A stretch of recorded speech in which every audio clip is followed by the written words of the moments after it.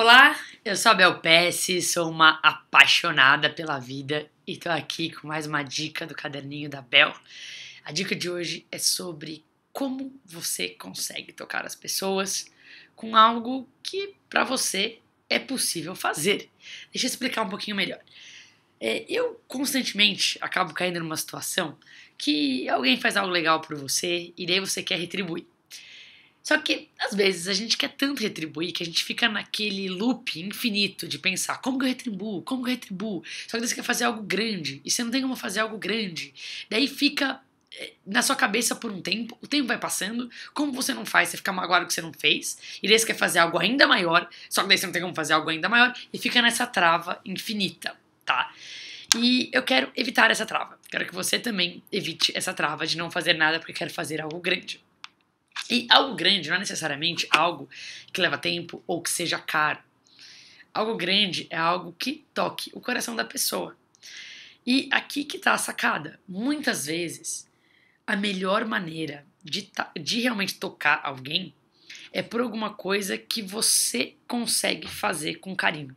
Alguma coisa manual, mais simples, que pode tocar muito alguém. Em tempos de internet, né? Aquilo que é manual toca muito as pessoas. Estou falando uma cartinha simples, ou se você sabe desenhar é, um desenho, ou se você sabe escrever poemas, um, um poema, pode ser alguma coisa que para você é, é, natural, que você saiba fazer, é, e para outra pessoa tem um valor de ela perceber que você parou, fez alguma coisa que você teve que colocar o seu coração naquilo e assim você acabou tocando, seja para agradecer ou retribuir, ou seja num primeiro momento mesmo sem ter que retribuir nada para mostrar que você se importa. Eu tô até com alguns exemplos aqui, eu quero mostrar para vocês, porque algumas pessoas me tocaram muito dessa maneira. Então, peraí, deixa eu mostrar para vocês. Primeira coisa, eu adoro o caderninho. E olha que lindo esse caderninho que fizeram para mim. Então, assim, é, Dream, I'm a Dreamer, I'm Strong, muito bonitinho.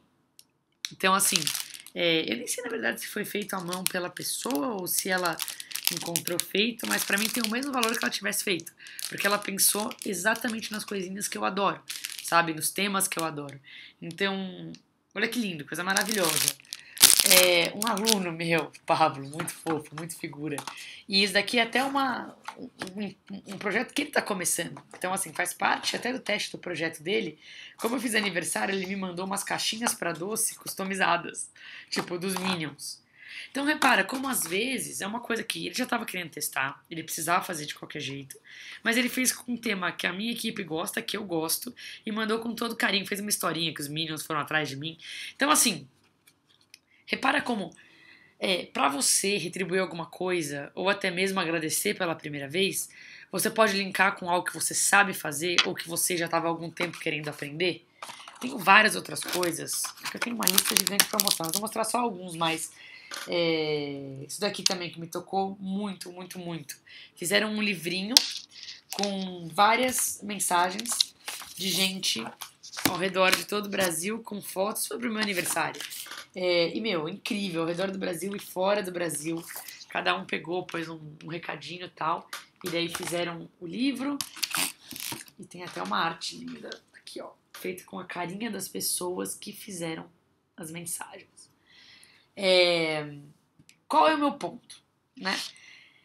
Meu ponto é: se você quer agradecer alguém, você ficar batendo cabeça, pensando como que eu posso mostrar que essa pessoa é especial para mim, ou como posso retribuir alguma coisa especial que essa pessoa fez. Uma maneira boa é pegar alguma coisa que você saiba fazer, de preferência manual, e fazer. Né? Eu acho que é o poder do artesanato para mostrar que você se importa. Porque aquilo que é mais artesanal, você teve que parar para pensar, você pôs sua mão, você colocou seu coração, né? Então isso é muito legal também e toca a pessoa fazendo algo que você saiba fazer ou que você já queria aprender é, há algum tempo. E não precisa ser tão complexo como algumas coisas que eu mostrei aqui. Uma cartinha à mão já toca pra caramba. Eu tava lendo uma cartinha, se eu pegar aqui pra mostrar pra vocês. Nera, quer ver? Quer ver que bonitinho? Uma cartinha que eu recebi também, escrita à mão. Já faz toda a diferença, sabe? Em tempos de internet, em tempos de tudo digital, tinta tinta faz você se sentir rainha, né? Então, essa é a dica do caderninho. você quer mostrar alguém que foi especial para você, tocar alguém, retribuir de alguma maneira, não fica infinitamente tentando criar. Pega uma coisa que você saiba fazer, e pode ser escrever uma cartinha à mão, e surpreende a pessoa com algo que no mundo digital normalmente é, tá mais raro. Essa, essa é a dica de hoje do caderninho. Que você está se perguntando, poxa, Abel, curti. Quero me aprofundar mais porque parece que isso é uma maneira legal de criar oportunidades. Eu tenho um curso sobre criação de oportunidades. Se você acessar www.cursocriandooportunidades.com.br, você pode deixar o seu e-mail para saber quando vem a próxima turma. É, e se você está se perguntando, gostei, como que eu posso treinar o meu olhar para ter um olhar de caderninho também? Bom, primeira dica é simples: começa um caderninho. Segunda dica, se você já tem um caderninho, divide alguma história do seu caderninho comigo. Eu vou adorar ler essa história. Pode até comentar aqui no vídeo. Terceiro, se você aprendeu alguma coisa nesse caderninho que algum amigo seu pode usar, ou que você acha que pode repassar para alguma turma sua, passa a dica para a pessoa. Não precisa nem falar que você aprendeu comigo, que eu quero que você passe adiante a dica, porque quando você aprende, você. Quando você ensina, você aprende, tá bem? Outra dica: é, tem alguns sites é, que, que eu tenho que podem ajudar bastante com essa visão. Fazenova.com.br, F-A-Z-E-N-O-V-A.com.br super ajuda a abrir sua cabeça em relação a um modo de pensar diferente. www.livrosdabel.com.br você baixa gratuitamente meus livros. belps.com.br barra quero bel você faz parte de um mailing que pensa de forma diferente também. E www.caderninhodabel.com.br você acessa esses caderninhos. Inclusive, o caderninho tem em vários lugares. Né? O caderninho está no Facebook, caso você esteja vendo o caderninho pela página Belpes do Facebook, dá like, comenta, marca seu amigo, comenta alguma história, compartilha. Vou adorar que você espalhe essa mensagem. Caso você esteja vendo pelo YouTube, que tem o canal Caderninho da Bel, mais de 50 mil assinantes, bem legal. É, você pode ir lá dar joinha, comentar, assinar o canal para receber os próximos caderninhos. É, tem no podcast da Bel também. Se você não está assinando esse podcast, vale a pena acessar o podcast. Então você consegue baixar pelo aplicativo podcast se você tem iPad ou, ou se você tem iPhone, pelo podcast Republic se você tem Android, pelo aplicativo Cast se você tem Windows Mobile, ou se você quiser acessar pelo site podcastdabel.com.br, você pode acessar o podcast da Bel também. É, você consegue encontrar o arroba caderninho da Bel no Instagram, é, com várias artes bonitinhas de sacadas que a gente tira do caderninho. Temos também uma lista de transmissão, caso você queira receber esse caderninho diretamente no seu telefone.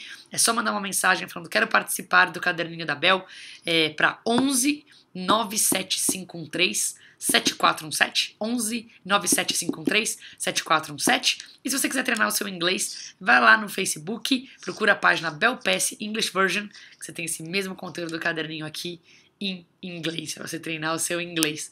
E claro, se quiser ficar ligado em tudo que acontece, acesse por belpass.com.br ou então por todas as mídias sociais, eu sou Belpass em todas as mídias, em Snapchat, em Periscope, em Instagram, em Twitter, tudo.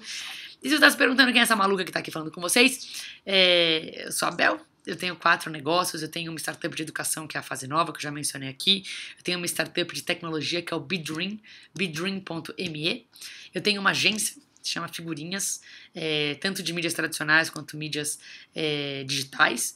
E eu tenho uma editora que se chama Encla, E-N-K-L-A.